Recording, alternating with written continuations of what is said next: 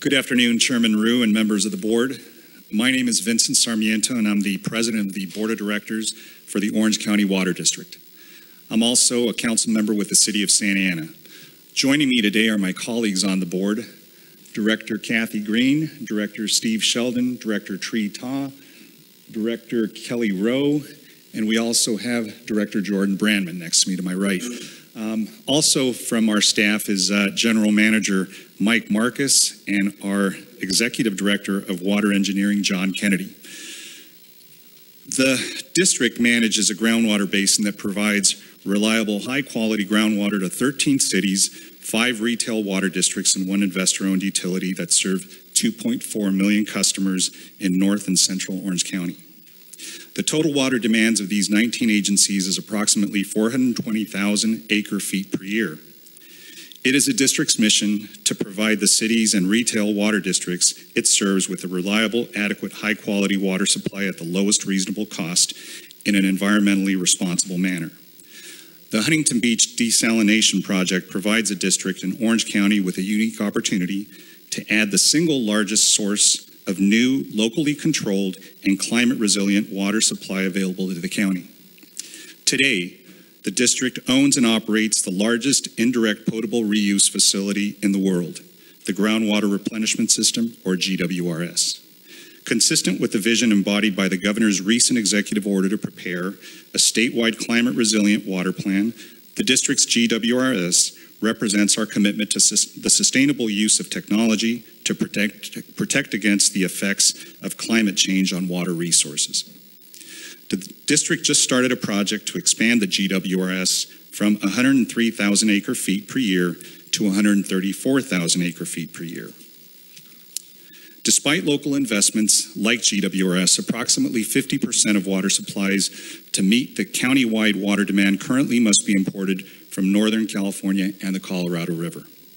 These sources of water can be vulnerable to drought, climate variability, natural disasters, environmental concerns, and regulatory restrictions.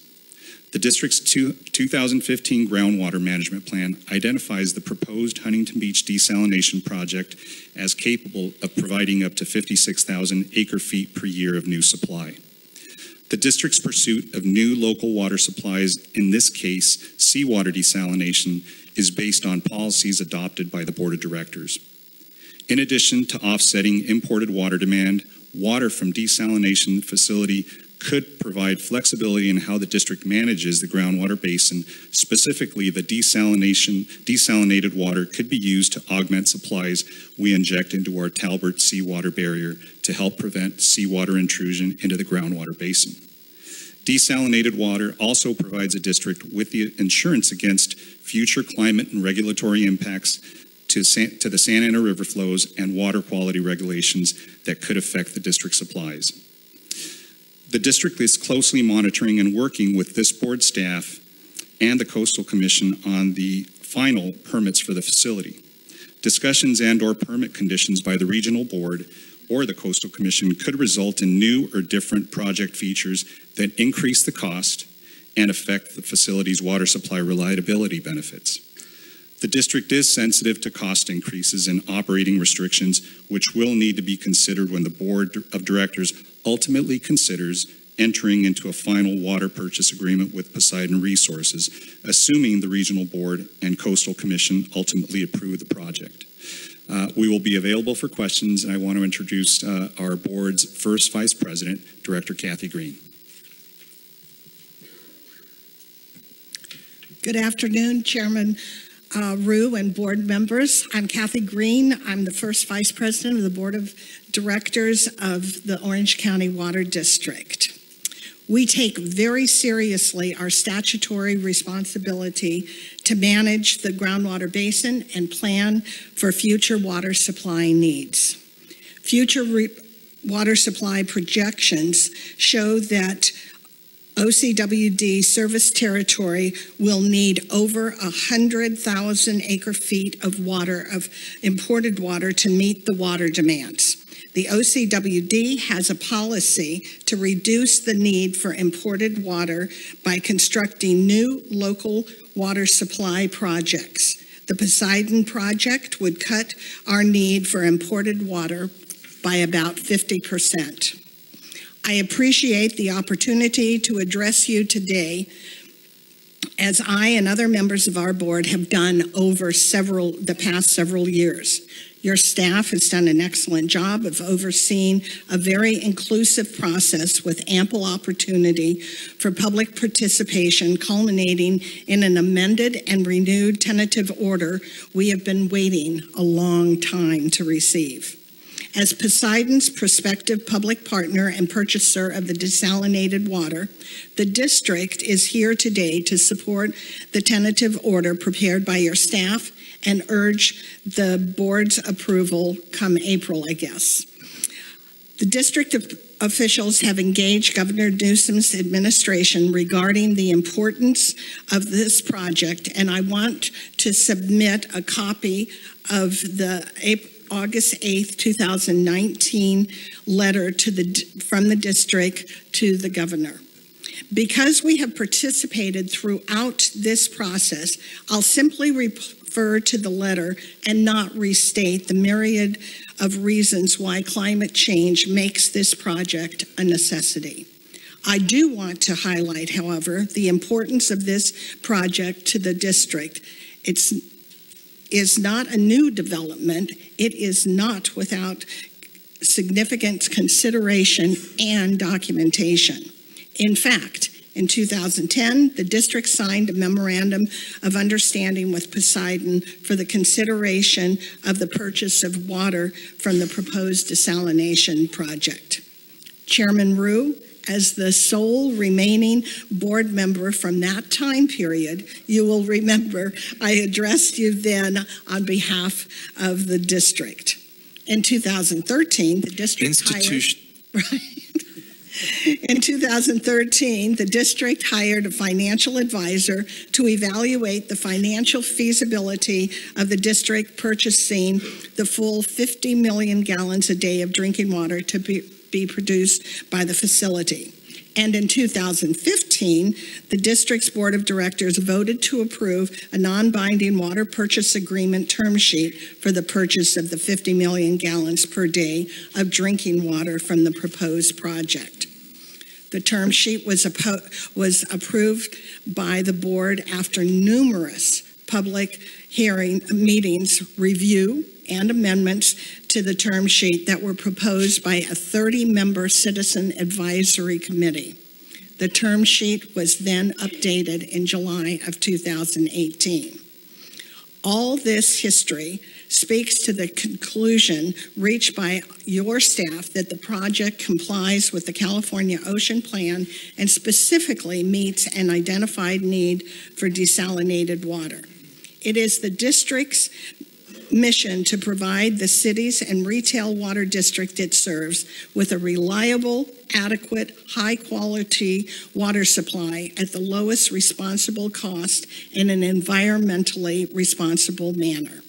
The Huntington Beach project meets this test.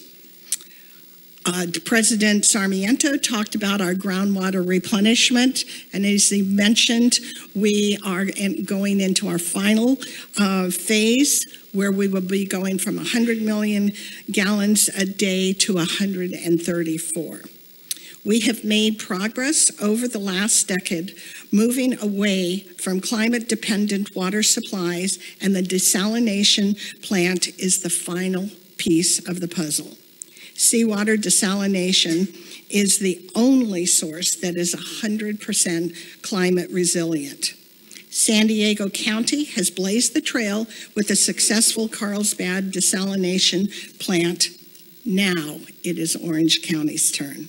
The district respectfully requests the board support your staff's tentative order and adopt it in April as planned. And next, I would like to introduce Senator Barbara Boxer. Welcome, Senator. I realize we're running a little behind time for you, but we have a no, lot no, of no. questions. It's, Thank it's, you. It's fine, and greetings to every single one of you. Um, for 40 years, I sat where you sat, making decisions. I know it's hard. I know we're split. So it is. and it is on your shoulders to do what is right. The last time I addressed you, um, that was two years ago. It feels like even longer. It's been a long and winding road to get to this point. Actually, this all started 13 years ago. But today, I am so pleased that your staff has acted because, without doubt, safe, reliable, clean drinking water is a matter of life and death. And that is why the Environmental Protection Agency awarded a low interest loan to Poseidon to move this project forward. Now, I agree there is a human right to water, and I thank you all for voting for that. You said there is a human right to water. And all we have to do is look at the U.S. Drought Monitor. It tells us the longest California drought just ended. It lasted 376 weeks. We all have watched in horror as our state has burned. Now, as I learned when I chaired the Senate Environment Committee, climate change means a tough, tough future for our state. Let's be clear. We all know that. We all believe that, I think. And if we do not adapt, adapt, that means get ready for the future droughts. Those of us who had the chance to do something but failed to act will be haunted, will be haunted by the impacts and filled with regret. Now, this isn't the first of a kind. We already heard Poseidon has a desal plant, runs it in Carlsbad. Senate Pro Tem Toni Atkins, who I know many of you admire, calls it a model, a model. And this plant will be 100% carbon neutral and 100% climate resilient. I don't know why people are moaning, it's their right, but I'm just giving you what I know to be the truth. I also want to talk about Bolsa Chica. Bolsa Chica. I was there when we saved Bolsa Chica in the 90s. I cannot tell you how excited I am to see that Bolsa Chica is going to be the mitigation. Because the state is running out of money. They need millions of dollars a year. And it's part of this. We only have a few more And seconds, Senator. I will you. finish with this social justice. Please note what I say here. For some of us, a drought is nerve wracking, but the expense of obtaining alternative water, we can do it without a sweat. But for many of our community, it's an economic burden they should not have to bear. So when you say water is a human right, and I know you mean it, then I hope you will agree with your staff and move forward with this badly needed new water source. And thank you so much for the privilege of addressing you. Thank you. Thank you, Senator. And for the public, please try to refrain from comments until it's your turn to speak. Mr. Chairman, I would ask, and I thank you for raising that point. Uh, everyone will have an opportunity to speak, but we hope that everyone will, every speaker will be treated with their due respect.